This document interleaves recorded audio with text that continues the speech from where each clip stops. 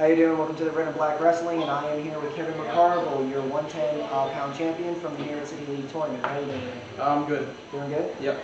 Uh, so, in your finals match, you wrestled uh, an opponent from Stepinac. Um, Yeah. It ended fairly quickly. Yeah. Um, most of your tournament has been like that, mostly first uh, period uh, pinfalls. Um, so, what has it been like scoring points for your team, especially in such a big tournament such as a league tournament? Uh, it's been great. I know our team really needed it this year. Um, it's been kind of a weird year, so it's like gotta gotta get points where you can. Yeah. Um, I tried to end it early. I was a little bit nervous, so trying to just get it done. Um, for for my weight class, it's been a little bit of a lighter year. Uh, not as many public schools at all, actually. Um, but yeah, it's been. I'm just doing my best for the team. And speaking of stuff, the weird year it has been, what has uh, the pandemic done to the Iona Prep uh, wrestling team? Like, how has practicing been since we can't practice indoors? Um, how much of a struggle has it been for Iona to get on the mat? Um, yeah, it's been pretty difficult for us. We actually have a, we actually didn't have to practice outside. We were able to practice inside luckily. Um, I know other schools had a hard time, but we were lucky enough to have a good uh, athletic department to let us practice inside and have a good year.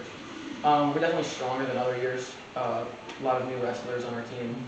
Uh, definitely, definitely brought up the overall uh, stature of the team. And speaking of the, the team as a whole, um, your whole team was surrounding the mats almost every single, bout, no matter whether it's finals or third place. And there's such a strong bond between the team, and I can see that um, from coaching on the other side of the mat. What is the, the brotherhood aspect of the wrestling team mean to you? Yeah, we kind of want to like when you're wrestling, you, you can you can't really hear what people are saying. You can like feel that they're there.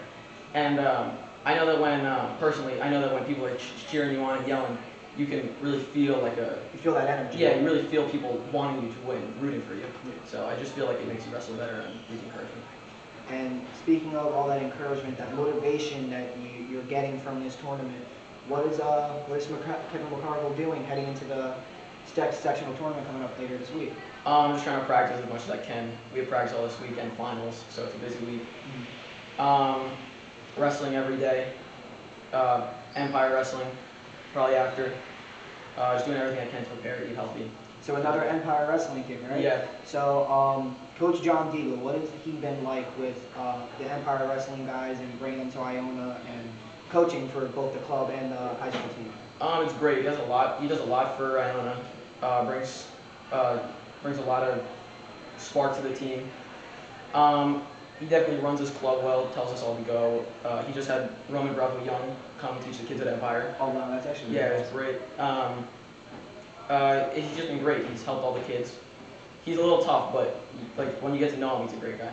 Yeah, he, he seems like such a nice guy because whenever Yeah, I run into him, I'm like, hey, how you doing? He's like, hey, how you doing, bud? Yeah. But meanwhile, like when you see him coaching and it's like this, I'm not gonna say aggressive, but the tone that he speaks in is like very energetic. It is. It's yeah. like get him, like work your high. Like it's very loud, but like you almost feed off of that energy Yeah, exactly. from the coaching staff. Mhm. Um, and what do you think your how do you think your team stacks as a whole uh, heading into the next couple tournaments? Um, I know you guys had a lot of big wins as a team, uh, beating St. Anthony's by a point. Yeah. And um, although Chaminade didn't go the way you guys hoped, you guys had a lot of very uh, credible wins, including two wins over Monsignor Farrell. Um, so what has it been like as a dual team versus a, a tournament team? Where do you guys, where do you think you guys stack up? Um, I definitely think we have a chance of uh, winning sectionals as a team. Um, I know that sectionals uh, duels are an if. I don't know if that's going on. Yeah, I heard it's but- 50-50. Yeah. Um, I think we have a good chance of winning both.